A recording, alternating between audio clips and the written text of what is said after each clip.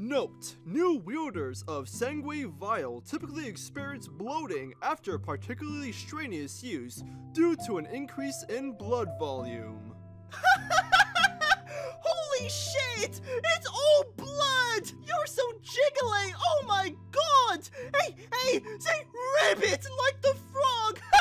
Should I stab him? That's fine. You look like a!